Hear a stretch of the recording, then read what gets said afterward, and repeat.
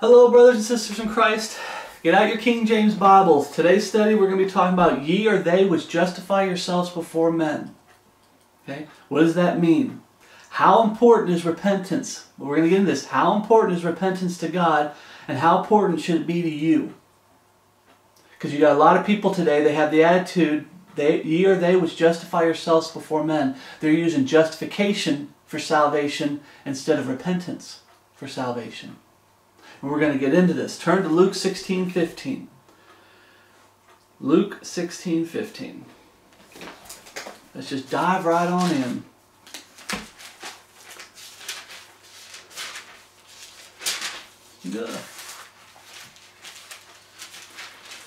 Luke 16 15 we read, And he said unto them, Ye are they which justify yourselves before men. Who's he talking about? He's talking about the Pharisees, the Sadducees, the scribes, the religious crowd. The number one people that I deal with that attack me hardcore on repentance is the organized religion crowd, the easy believism religious crowd. Okay? Not the lost people, not the poor in spirit, not the uh, publicans and sinners. Okay? But the religious crowds are the ones that are attacking us. When it says that ye are they that justify yourselves before men, we're going to find out these are the religious crowds that reject repentance. Let's keep reading here. But God knoweth your heart. Once again, it comes back to a heart issue, brothers says Christ. They always get on to us. Uh, I still, to this day, I'm still disappointed, but Peter Ruckman knows better. All I can do is correct Peter Ruckman and get brethren on the right path. But Peter Ruckman made an old study, and I, I, I love a lot of his teachings, but in one of his old studies, he started mocking. He was trying to talk about assurance of salvation, which is great. We need to have assurance of salvation. These things have I written unto you that believe on the name of the Son of God, that ye may know ye have eternal life. Grieve not the Holy Spirit of God, whereby ye are sealed into the day of redemption. I always tell brethren, when you're newly saved, Satan will try to get you to doubt your salvation. He'll try to get you all messed up. His ministers will try to do it. At some point in your walk with the Lord, you're going to get that assurance of salvation and you're going to be rock solid for the rest of your walk with the Lord. Absolutely. But in that study, he started mocking what the Bible talks about believing in your head or in your heart. The Bible talks about uh, they had the knowledge of, of Jesus Christ. The latter end is worse than the beginning. It had been better if they had not known the way of righteousness. The latter end is worse than the beginning. Why? Because they have the knowledge, and there's that saying, you miss heaven by 13 inches. You know what Jesus Christ did. You know why Jesus did it. You made a, a fake profession of, of faith just so you can be part of whatever clubhouse or group you want to be, social club, country club. You have the knowledge, but it never makes it down here. And what makes it down here? Repentance. And as we get into this, those Republic, uh, the Pharisees, Sadducees, and scribes, they were rejecting repentance. God knew their heart. It'd never make it down to their heart. Their heart was hardened. They had a prideful spirit and they had hardened hearts. I don't want to get ahead of myself, but God knoweth your hearts. You're justifying yourself before men. The Bible says they go about to establish their own righteousness. You'll hear people say self righteousness. I don't say that. Why? Because the Bible says you cannot have self righteousness doesn't say chapter and verse where it says self righteousness. It says you go about to establish your own righteousness. Ye, right here, ye are they which justify yourselves before men. They justify themselves. Well, I'm not that bad. Yeah, I sin, but I'm the religious crowd. I do my animal sacrifices, and that took my sins away, so now I'm sinless. You're the sinner. You see that with these uh, Pharisees and Sadducees and scribes. We're not sinners. Why? Because I mean, you, we did bad things, but I did my animal sacrifice. Now they're. Now they're they're white clean, and I'm sinless. You see movements like that today, where they try to promote sinless perfection. I'm still a sinner, but I'm a saved sinner. And the ultimate cost, the ultimate price of sin, Jesus paid for me.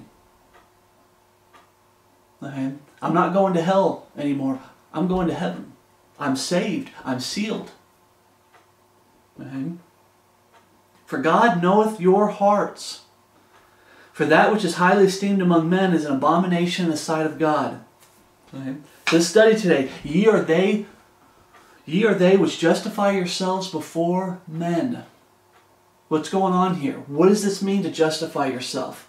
When you have people, and I'm going to go into it a little bit, you have uh, easy believism, faith alone. There's, it's you're saved. It's faith alone. You're saved by your faith. They're trying to justify themselves with their head knowledge. They reject repentance as it applies to salvation, or they'll change the definition of repentance.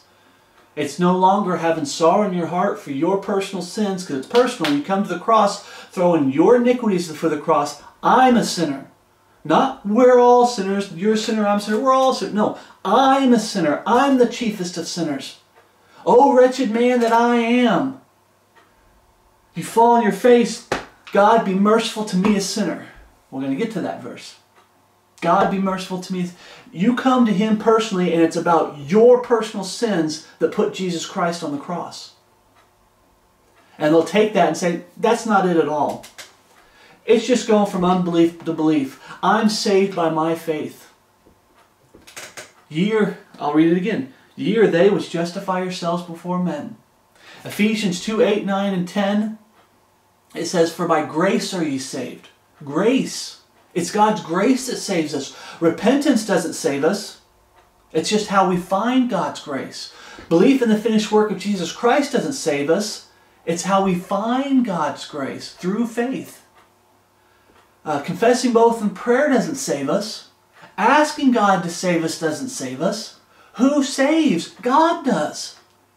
But when you got them cutting out repentance, now they're trying to take out prayer, and it's faith alone. They're trying to justify themselves before men. Ah, I saved myself with my faith. And they get on to me because I say you turn faith into works. Faith isn't supposed to be works, it's supposed to be down here.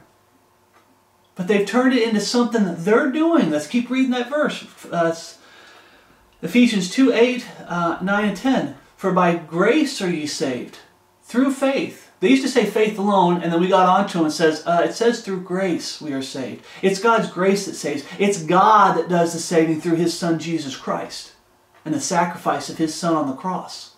It's God that does the saving. Well, well, um, grace alone through faith alone. No, it's one or the other. It's not both. They still keep trying to justify themselves by their faith. Okay? The Bible says, For by grace are you saved through faith, and that not of yourselves. The moment they say, my, I, I, my faith saved me, repentance saved me, my faith saved me, because it takes faith to repent, it takes faith to believe in the finished work of Jesus Christ on the cross, it takes faith to confess both in prayer, and it takes faith to ask God to save you. Not of yourselves. But they like to pervert that scripture. It's faith alone. Faith. No, it isn't. It's grace alone. It's God's grace that saves. And here's how to find God's grace through faith. Here's the steps. Repent. Repentance towards God, faith in our Lord Jesus Christ, confess both in prayer, and ask God to save you. That's how you find God's grace through faith, and not of yourselves. It is a gift of God. If it's something you did to get saved, I did this and therefore I saved myself. It's not a gift. You earned it. You earned it with your faith. There's people that tell you you got to keep the Levitical laws. You get people that get into where you have to merit salvation and you've got to die in a state of grace. Uh, it's no longer a gift if you're earning it. It's just today the deception with this easy believism is the head knowledge, and you've earned salvation with your head knowledge, and you can continue doing whatever you want because you earned your way to heaven. You earned the right to sin. You earned, uh, it's all garbage. Just utter garbage. And I'm talking about the life they're living. They don't just come out and say it, but you look at the life they're living. They've earned the right to live however they want because of my faith. And they get so upset with me because I point them out and say, this isn't right. This isn't right at all not of yourselves is a gift of God, not of works. Now, the works part there is talking about the Levitical laws, trying to keep the Levitical laws in order to be saved. That's the works. Because they'll get on to you and say, well, breathing's working.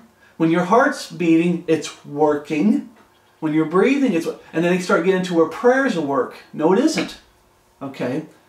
When it talks about not of works, it's talking about keeping the Levitical laws in order to, to go to heaven. Okay? Prayer is not a work. Repentance is not a work. Belief in the finished work of Jesus Christ isn't a work. Not of works, lest any man should boast. And this is what they hate pre- preaching. They, they will preach Ephesians 2 8 and 9 and then yell, faith alone, faith alone. But they leave out verse 10. And they do it purposely. Why? Because it's the changed life. Remember, bring forth therefore fruits meet for repentance. If you truly repented and believed in the finished work of Jesus Christ on the cross, confess both in prayer and ask God to save you, and God looks at the heart, we just read here, God knoweth your hearts.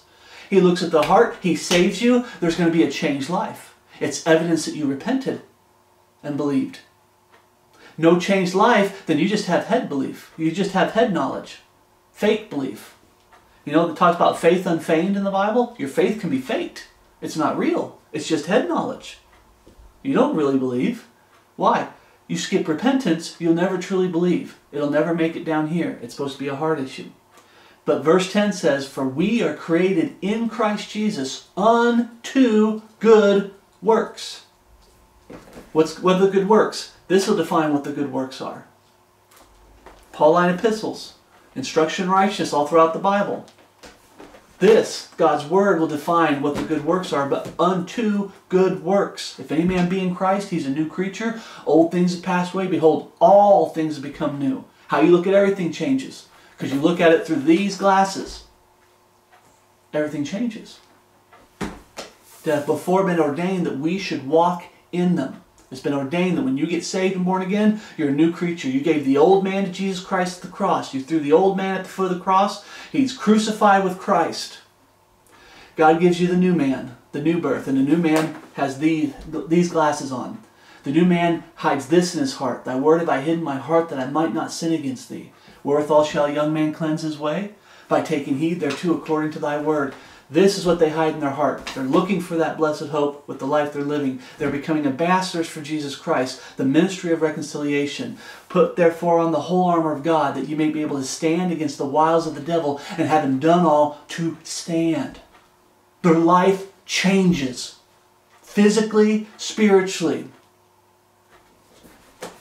Sanctification. Remember, uh, to be a Christian means to be in Christ. What does it mean to be in Christ? He's made unto us wisdom. The fear of the Lord is the beginning of wisdom, and a good understanding have all they that keep his commandments.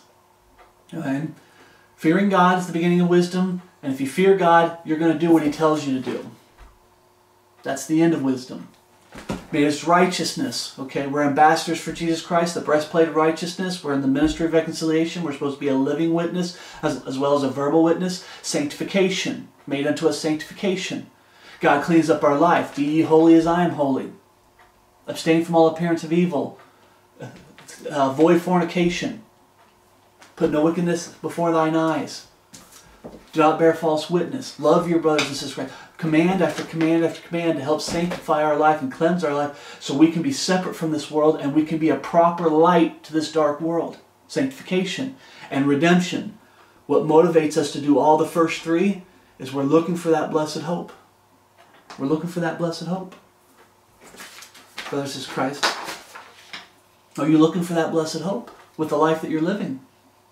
Or have you become like some of the brethren that are getting distracted by the world and they've turned their back. They used to call, they call it the imminent return of Jesus Christ, but the Bible says looking for that blessed hope, present tense. Paul was looking for it in his lifetime.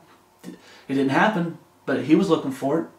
And loving the great, the, loving the appearing of our great God and Savior Jesus Christ, loving His appearing. And you got brethren to get distracted by the world, and they're now they're pushing, hunkering down, and and and surviving and enduring hard times, enduring to the end to be caught up, you know, type attitude. They've turned their back on looking for that blessed hope. And they're hurting the brethren out there by getting you to turn your back on looking present tense for that blessed hope with the life you're living. No matter how bad it gets out there, our life, how we're supposed to live for Jesus Christ, doesn't change. The mission doesn't change. Okay? So I'll say again, Luke 16, 15. Ye are they which justify yourself before men. Brethren, when you come across people that are attacking everything I just talked about, about true repentance and how we're saved by God's grace, it's not we're not it's not faith alone. We're saved by God's grace. How do you find God's grace? Well, through faith, absolutely. But we found out that's repentance that happens in the heart. There's belief in the finished work of Jesus Christ that happens in the heart. And there's confessing both to God in prayer and asking God to save you. There are steps that they'll take everything out. And then they make just the belief in the finished work of Jesus Christ. When they come and attack this stuff, brothers and sisters Christ, you're dealing with people who are justifying themselves before men.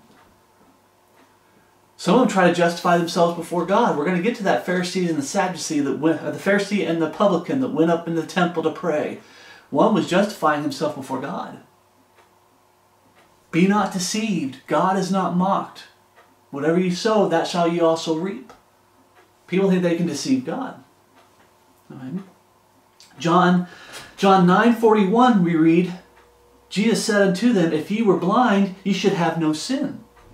But now you say, We see, therefore your sin remaineth. What's going on here? They're justifying themselves before men. They refuse to repent. They're justifying themselves before men. Job 9:20. This is Job. If I justify myself, if I justify myself, my own mouth shall condemn me. The Bible says, For all have sinned and fallen short of the glory of God. There's none righteous, no, not one. There's none that understandeth. There's none that seeketh after God. They've all together become unprofitable. There's none that doeth good, no, not one. In John, we read about a saved man. If a saved man says, I have no sin, he is a liar. We're going to get to that one, that verse.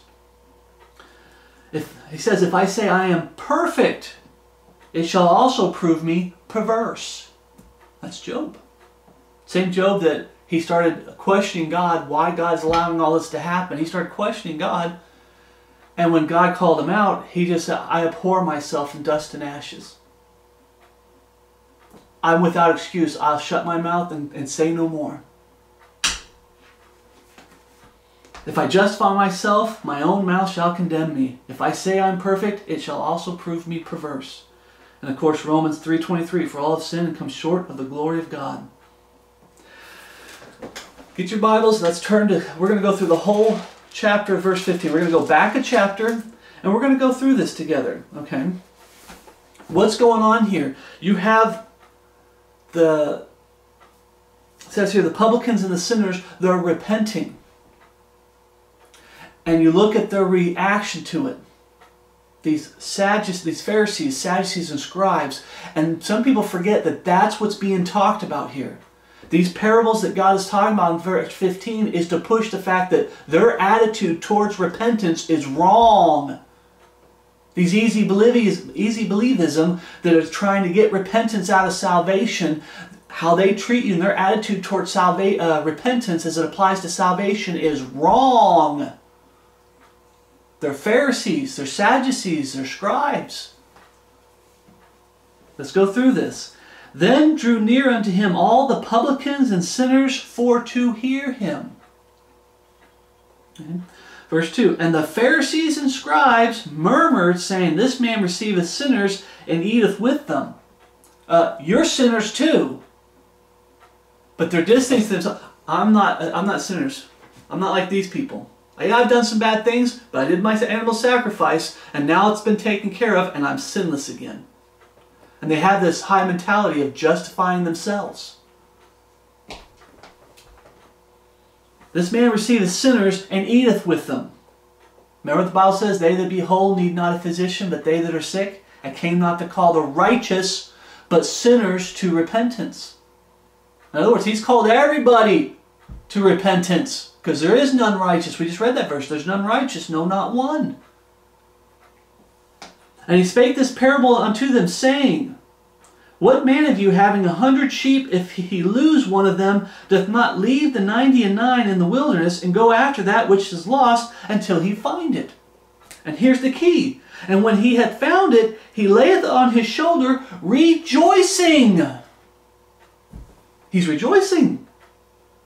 And when he cometh home, he calleth together his friends and neighbors, saying to them, Rejoice with me, for I have found my sheep which was lost. The key word there is rejoicing. Why? Verse 7 I say unto you that likewise joy shall be in heaven over one sinner that repenteth more than over 99, 90 and 9 just persons which need no repentance. That parable is talking about a guy who lost something, and then when he found it, he rejoices. And he comes and tells his friends, and his friends are to rejoice with him. When someone truly repents and believes in the finished work of Jesus Christ on the cross, confess both in prayer and ask God to save them, when they repent as it applies to salvation here, we should be rejoicing with that person. There's people that have testimonies that when they got saved, they were excited, they were glad, and when they went to tell the people around them, the, the people around them tried to steal their joy. Oh, you're part of an occult. Oh, they just start tearing you down. Oh, you're just mental. You're crazy. Oh, you repented. You didn't have to repent. That's a false gospel. You're still lost because you repented. And they start tearing you down. Where's the joy? How many of you seen Sheffey?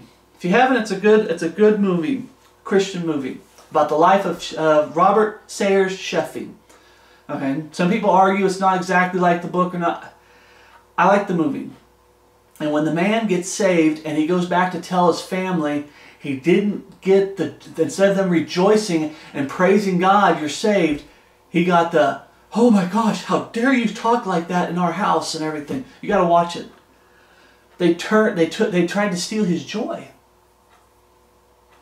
What Jesus is saying here with those Sadducees, Pharisees, Sadducees, and scribes, why aren't you rejoicing?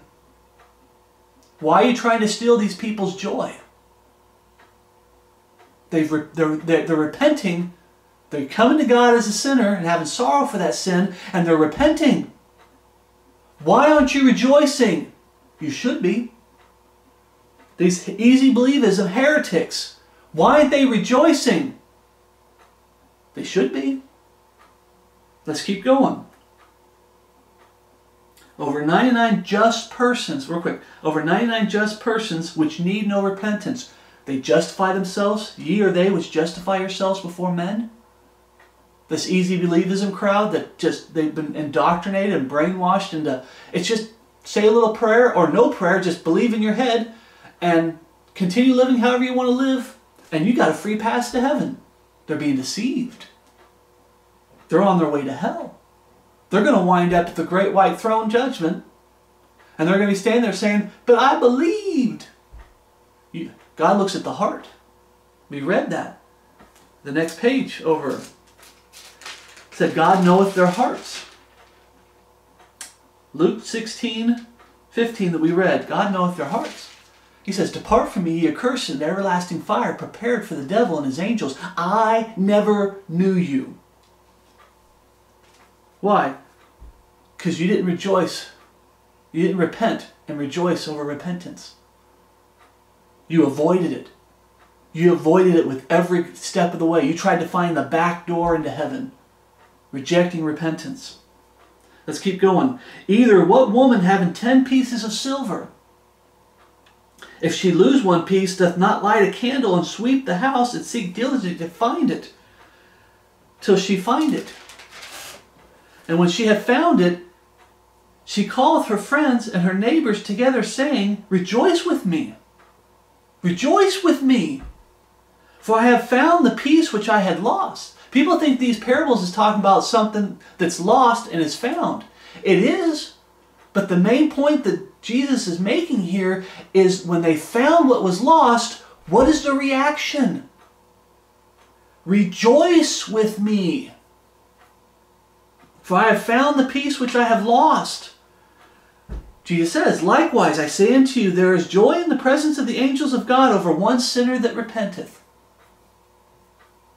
Joy in heaven. Oh, remember we said before, over 99 just persons who need no repentance, they justify themselves.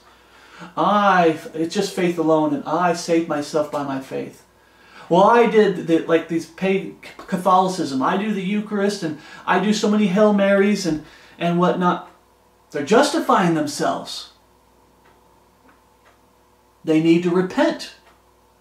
And when someone repents, our, those who are truly saved and born again, our reaction is, is we rejoice. False converts, They don't rejoice. They try to do away with repentance. And he said, and you guys know this, we talked about this in a recent study, and he said, A certain man had two sons. He does another parable, a long one, and we're going to read it. And yes, I, I we did a study, and there's nothing to talk about. We did a study about beginning and end. Anything that has a beginning has an end. And we talk about how the beginning he was lost, and at the end he was found. Yes, that's here.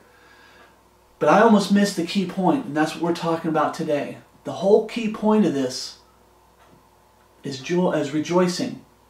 When someone repents and goes from being lost to being found when they repent.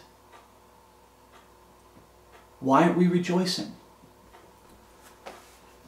And he said, A certain man had two sons, and the younger of them said to his father, Father, give me thy portion of goods that falleth to me. And he divided them to his living. And not many days after, the younger son gathered all together and took his journey into a far country, and there wasted his substance with righteous living. Once again, for all have sinned and come short of the glory of God. There's none righteous, no, not one. Uh, Job, I, if I justify, my, justify myself, mine own mouth shall condemn me. If I say I am perfect, I shall also prove me perverse. Wasted his substance with righteous living. And when he had spent all, there arose a mighty famine in the land. You know, God, sometimes, God has to do something to break, brethren, to, to break us, to get us saved. Sometimes after we're saved, when our heart starts getting hardened, God has to do something to put us back in our place, to break us. A mighty famine in the land. Now, this is another, I, I know I say this, I'm not trying to beat on Peter Ruckman, but Peter Ruckman made a comment because he's a gardener. I'm learning to garden. Yes, how I garden, I till the ground and then I, I make holes and put seeds in there. But when you read the story, the parable of the sower, there is no tearing of the ground. He's casting the seeds. And wherever they lie, they lie.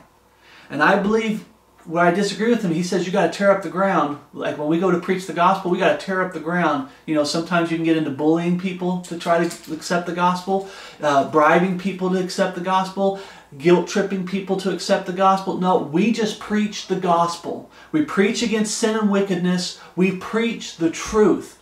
God does the tilling. God does the breaking of the ground so that seed can take hold. God brings people to their knees. He sent a famine in the land. And he began to be in want. He starts realizing something's not right with me. I'm missing something. And he went and joined himself to a citizen of that country, and he sent him into the field to feed swine. And he would have fain have filled his belly with his husk that the swine did eat, and no man gave unto him. And when he came to himself, he said, how many hired servants of my father have bread enough and to spare it, and I perish with hunger? Those Bible believing, God fearing men over there, they have something I want. I'm perishing. I'm, I'm, I'm uh, the wages of sin is death, but the gift of God is eternal life through Christ Jesus the Lord. The wages of sin is death. That's what I have. But that person over there, the gift, but the gift of God is eternal life through Jesus Christ our Lord. That true Bible believing, God fearing man, the actual Christian man and Christian woman, I perish with hunger. They have something I want. I will rise and go to my father and will say unto him, Father, I have sinned against heaven and before thee. No, no, no. He's just supposed to be hard hearted and just believe. Only believe, only believe. All things are possible. I will arise and go to my father. God saveth such that of uh, of God is near unto them of a broken heart, and saveth such that be of a contrite spirit. Repentance. This this man is repenting. Remember the whole context of this whole chapter. He's hammering the Pharisees and Sadducees because they need they justify themselves before men and they need no repentance. Let's keep going. This man is repenting and I am no more worthy to be called thy son. Talk about hit.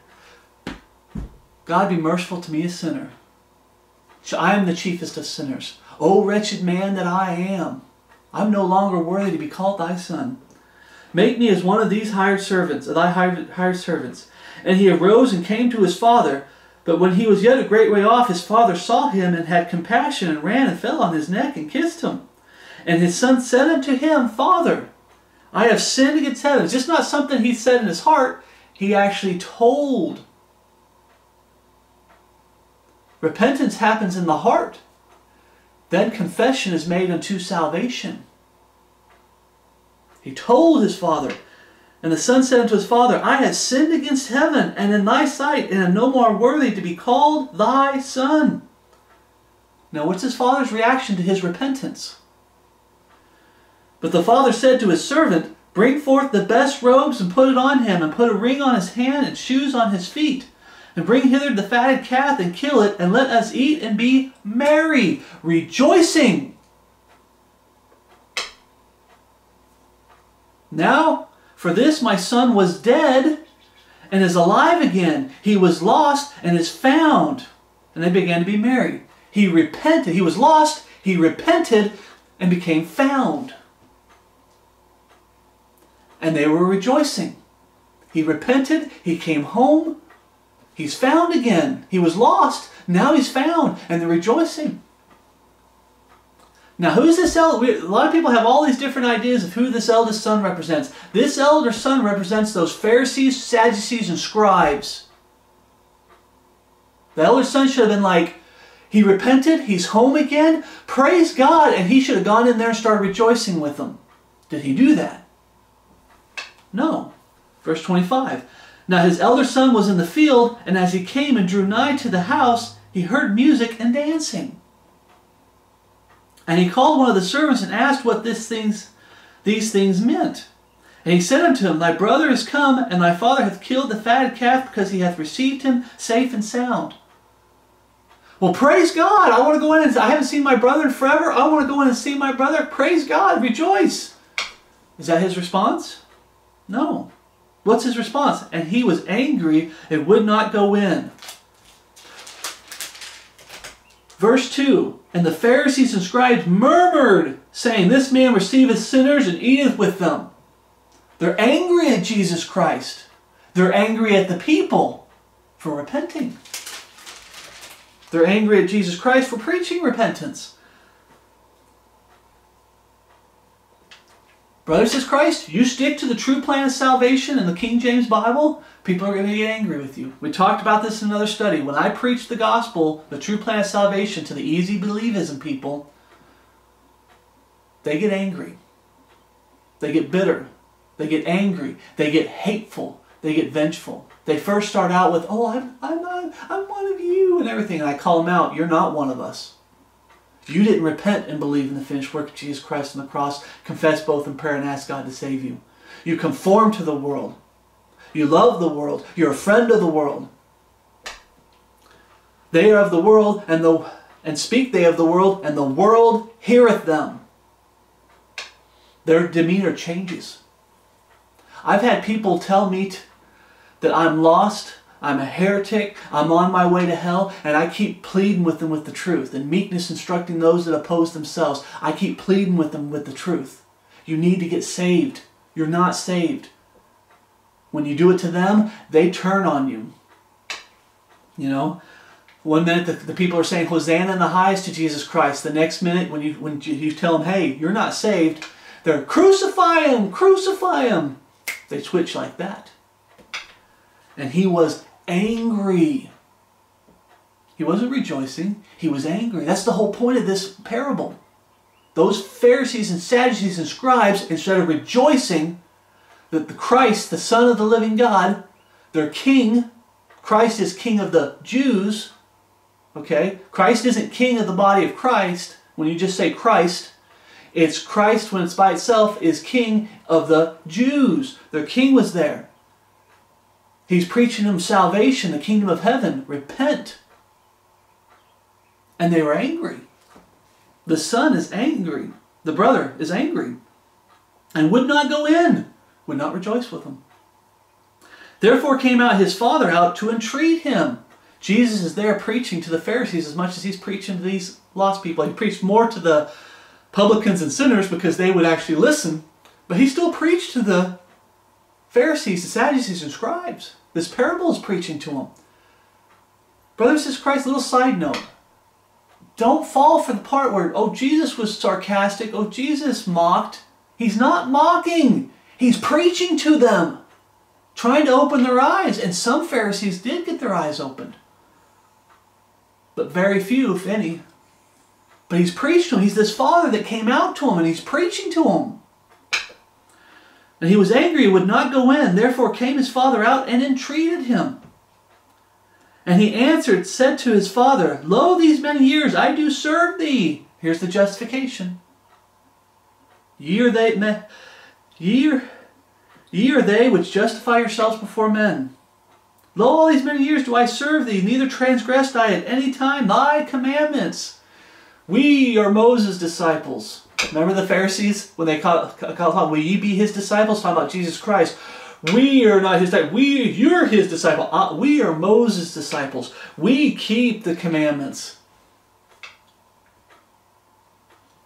Any time thy transgressed I any time thy commandments, and yet thou never gavest me a kid, that I might make merry with my friends. But as soon as this thy son was come, I'm not like other men are, murderers, thieves, or this publican. As soon as this thy son was come, which hath devoured thy living with harlots, thou hast killed for him the fat calf. He's repented. He's come home to be just a servant. He doesn't want anything. He's, he says that, I'm no longer worthy to be called thy son. Make me as one of thy hired servants.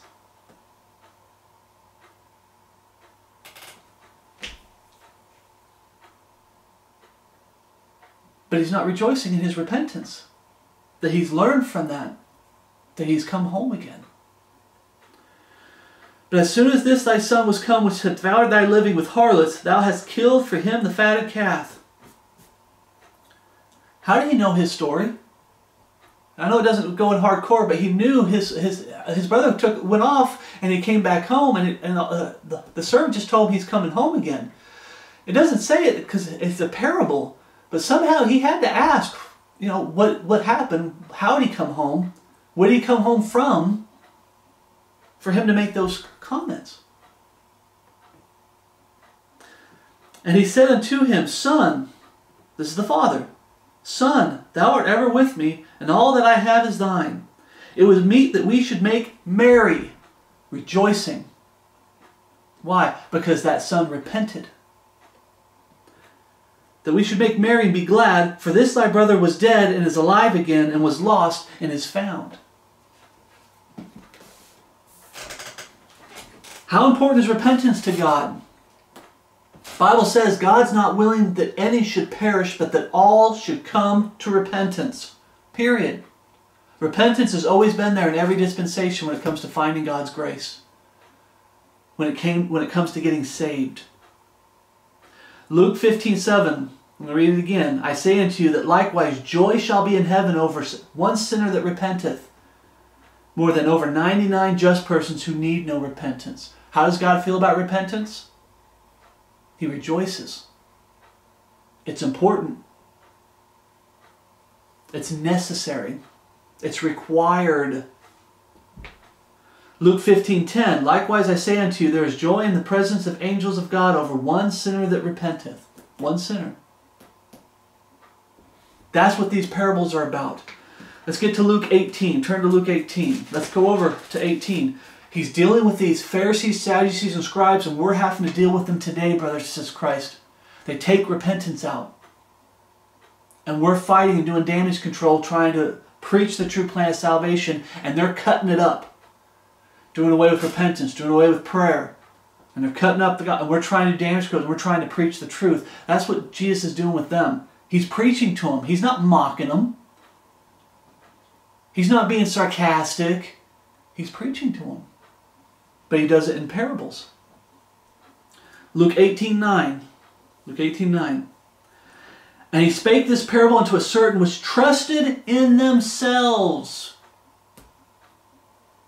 I am saved by faith alone. I'm, I'm being saved by doing all this junk, the Catholic Church, by keeping their Levitical laws. We talked about this where the Old Test, uh, when Paul first, in the Pauline epistles, he's dealing with Jews coming in, and messing up the, the brethren and trying to get them back under the Old Testament Levitical laws in order to be saved. Circumcision, uh, keeping the holy days, Sabbath days, and new moon. Uh, touch not, taste not, eat not. Well, today the Catholic Church has its own Levitical laws. You've got the Eucharist, you've got to say the Hail Marys, you've got to give, uh, you have to go and give confessions every week, and you have to actually confess your sins. No, the Bible says we're to confess our faults one to another. You confess your sins privately, one on one, between you and God. There's one mediator between God and man, the man, Christ Jesus. One name uh, given under heaven, given among men, whereby we must be saved, and that name is Jesus. You go through Jesus Christ and confess your sins to God the, the Father through Jesus Christ, the Son. But you have certain men that trusted in themselves that they were righteous.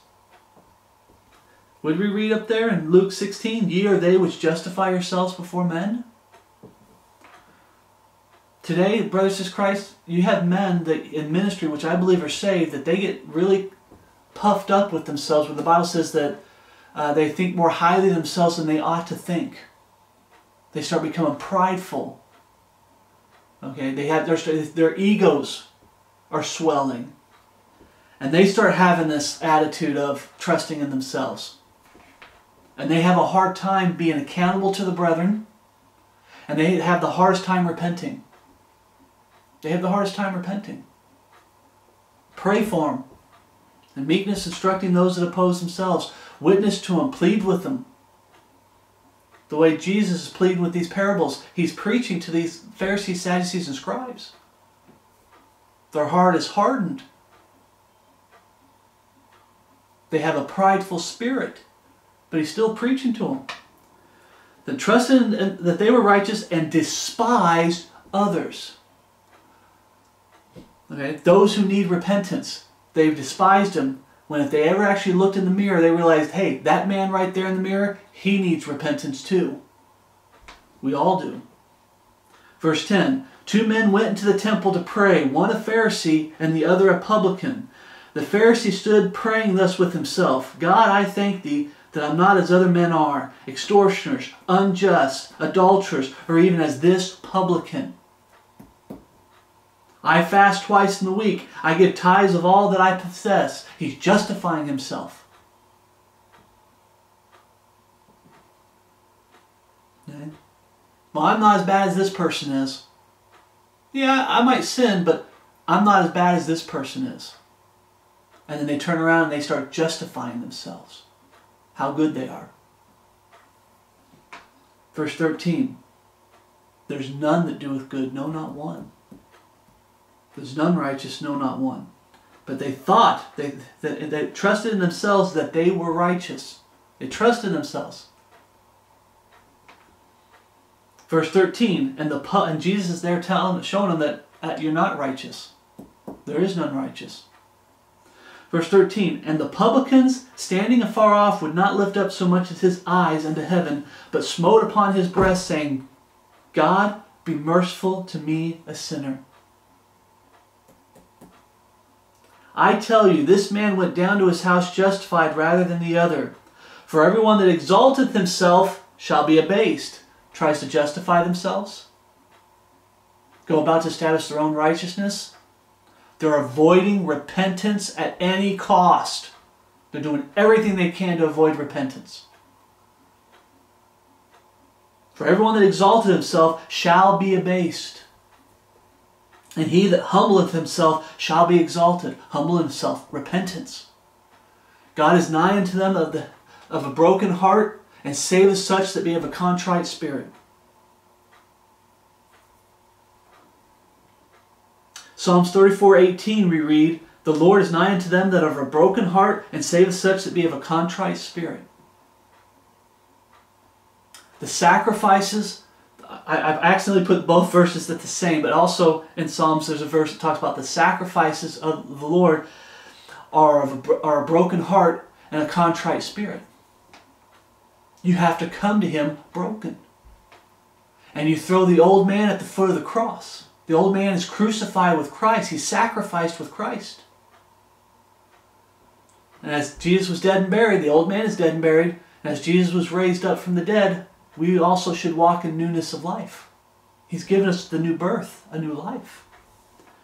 Romans 12:1 says, I beseech you therefore, brethren, by the mercies of God, that you present your bodies a living sacrifice.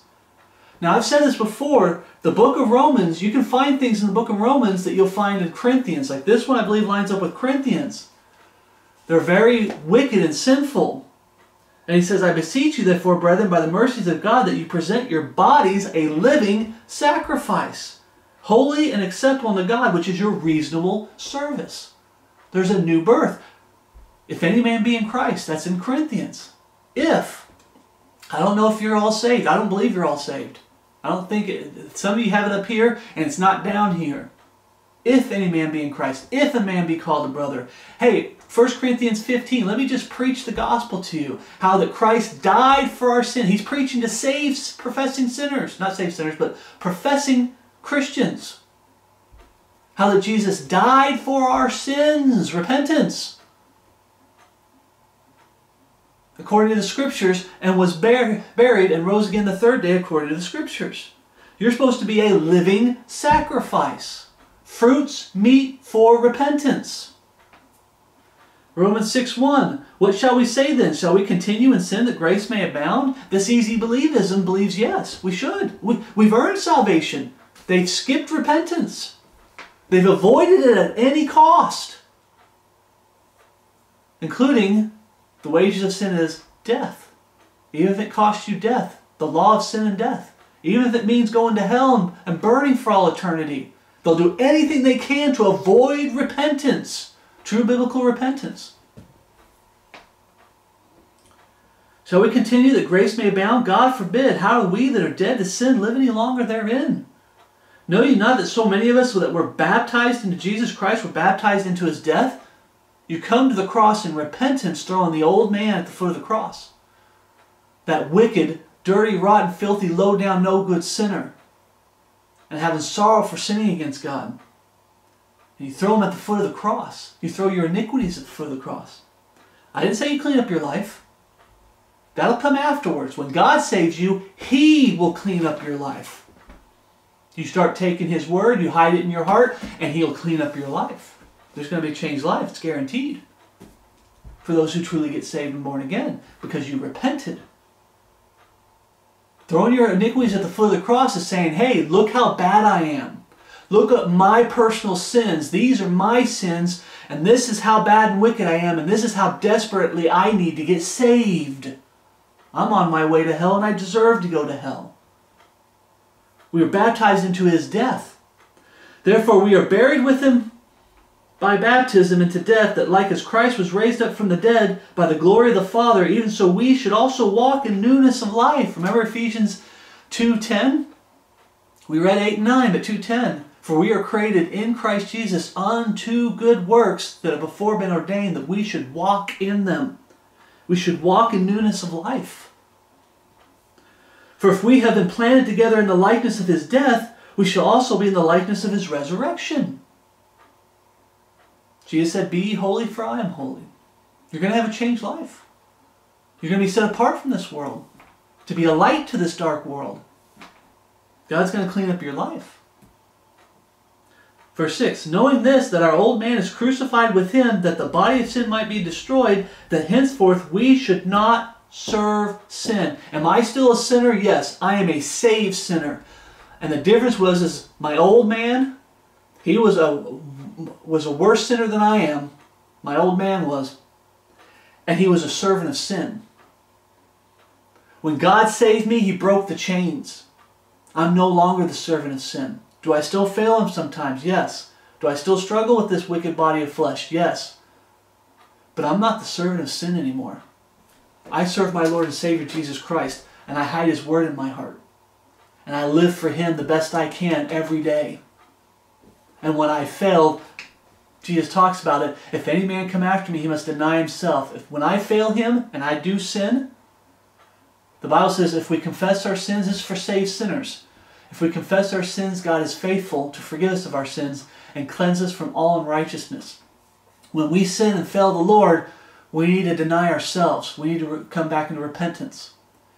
It starts at salvation, getting saved, we need repentance to get saved, and that repentance stays with us our whole walk with the Lord until He catches us up in, in death or in life. We need to deny ourselves. Pick up our cross daily. When we sinned, we dropped our cross. We need to pick it back up. We need to get back. We need to turn from that wicked sin and get it back out of our life. It got back in. Get it back out of your life and get back. And it says, and, and, and follow me. We need to get back to our walk with the Lord, Jesus Christ, and living for Him. Knowing this, that our old man is crucified with Him, that the body of sin might be destroyed, that henceforth we should not serve sin. For he that is dead is freed from sin.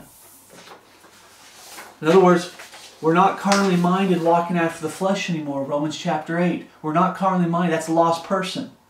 Can you believe that there's people today trying to defend that there's that that's a saved person? that's two types of saved people? No, it's a lost person and a saved person. A lost person is carnally minded, walking after the flesh, just as we read there, they're a servant of sin. They're a servant of the flesh. And when you get saved, you become capital S spiritually minded and you walk after the Spirit. He comes in and brings you into all truth. He teaches us how to take the, God's Word, hide it in our heart, and live it.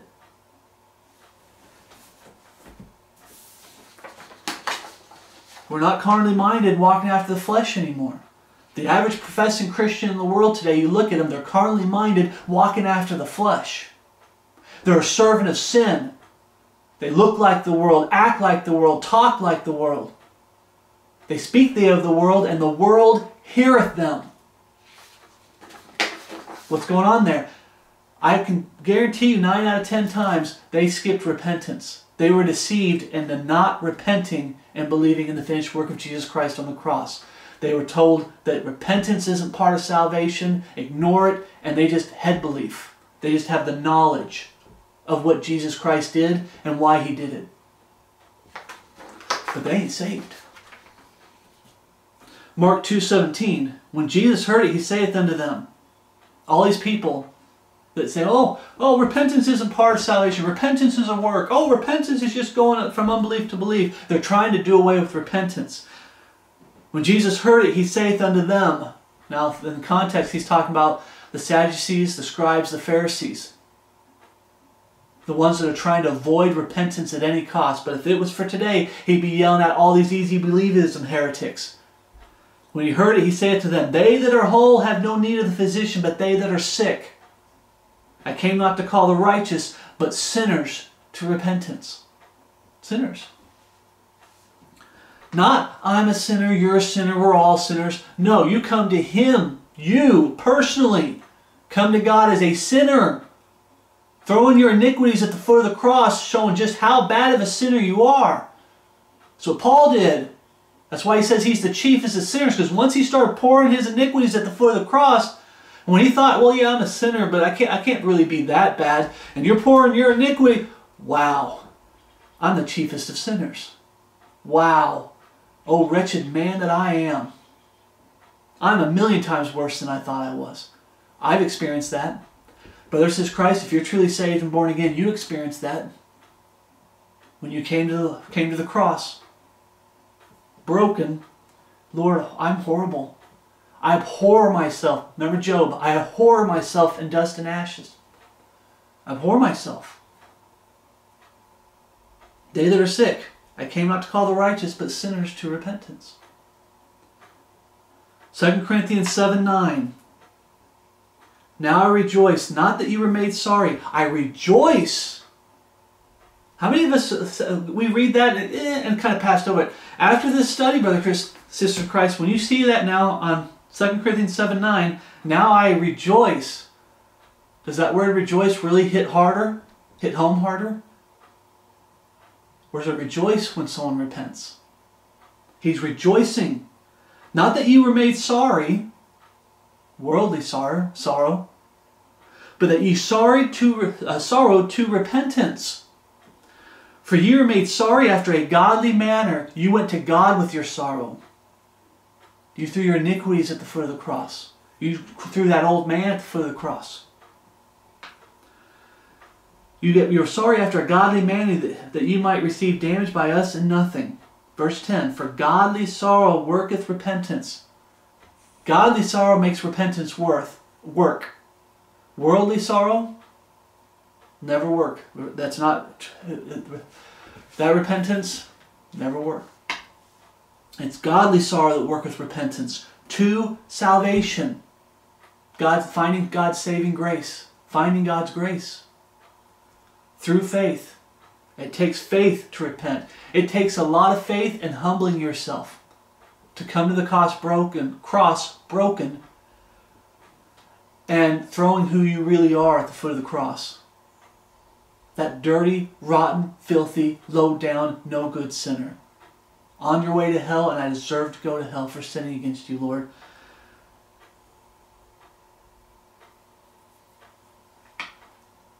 For godly sorrow worketh repentance to salvation, not to be repented of. But the sorrows of the world worketh death. The wages of sin is death. The worldly sorrow, the wages of sin is death. Godly sorrow, but the gift of God is eternal life through Christ Jesus our Lord. What Jesus did for you on the cross. You should have had to go through that, but Jesus did. He paid for my sins. The blood that was shed was God's blood. And it washed my sins away. And now I belong to Him. The Bible says, feed the church of God which He had purchased with His own blood. Purchased. The Bible says, when Paul's getting on people that are starting to get into wickedness and sin and worldliness, and starting to stray from God's word and living a life of Christ, he reminds them that you're bought with a price. You're not your own. I belong to Him. The world worketh death. 11. For behold, the selfsame thing that ye sorrowed after a godly sort, what carefulness it wrought in you. Yea, what clearing of yourselves. Yea, what indignation. Yea, what fear. Yea, what vehement desire. Yea, what zeal. Yea, what revenge. In all things ye have approved yourself to be clear in this matter.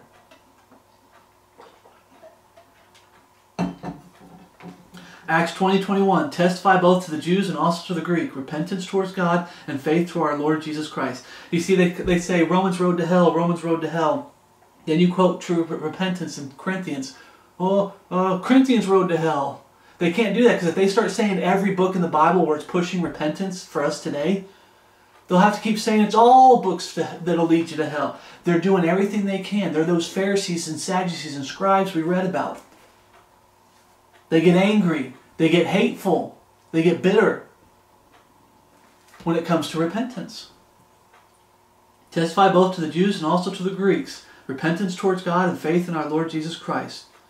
I'll go over it again in Luke 15, 7 and 10. I say unto you that likewise joy shall be in heaven. Where do we read up there in 2 Corinthians 7, 9? 9? When people are repenting and believing in the finished work of Jesus Christ on the cross and confessing both in prayer and asking God to save you, when people are getting saved, he says, Now I rejoice. Why aren't these easy believers and people rejoicing with us? Why are they attacking us on true biblical plan of salvation? Because ye are of your father the devil, and the lusts of your father ye will do. He was a liar from the beginning and the father of it. They don't want the truth. I say unto you that likewise joy shall be in heaven over one sinner that repenteth more than over 99 just persons that need no repentance. Likewise, I say to you, there is joy in the presence of the angels of God over one sinner that repenteth.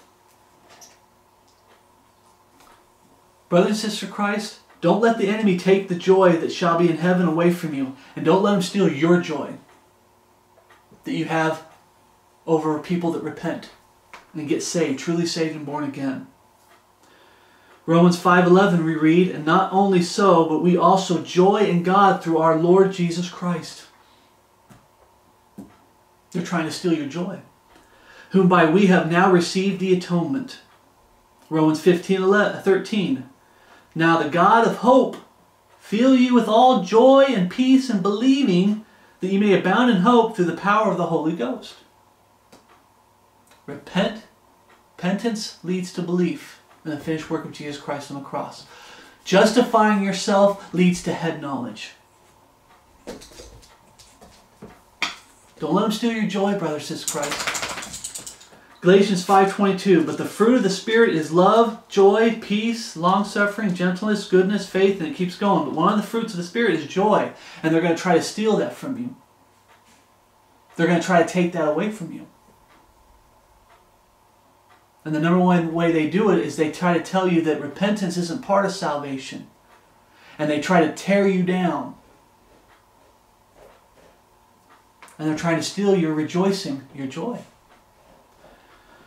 1 Thessalonians 1 6. And ye became followers of us and of our Lord, having received the word in much affliction with joy of the Holy Ghost. Okay? If you suffer with him, you shall also reign with him. We're going to be taking much affliction. Now, if you've made it through this study and you've made it this far as one of the easy believism, my thing for you is it's not too late. To the brothers and sisters in Christ, don't let people steal your joy. Stand firm for the Word of God and keep preaching repentance. Don't give up on it. Those that were deceived by easy believism. Oh, repentance isn't part of salvation. Repentance isn't part of salvation. It's not too late.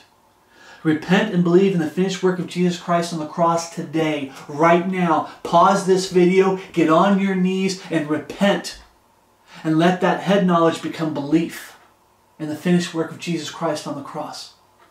Confess both in prayer and ask God to save you. And God will look at your heart, and God will save you. You come to Him true biblical repentance, He will save you, and He'll give you the new life, the new birth. Confess both in prayer and ask God to save you. Time is running out. Get saved today if you're not saved. And like false convert, you were deceived. Get saved today before it's too late. And brothers and sisters Christ, keep standing for repentance. To end this with grace and peace from God our Father and Lord Jesus Christ be with you all, and my love for you, which is in Christ Jesus our Lord what he did for us on the cross. There's no greater love than this, than a man lay down his life for his friend. Ye are my friends if you do whatsoever I command you. Talking about Jesus. He gave his life for us. Did you give your life to him at the cross? Thank you for watching, and I'll see you in the next video.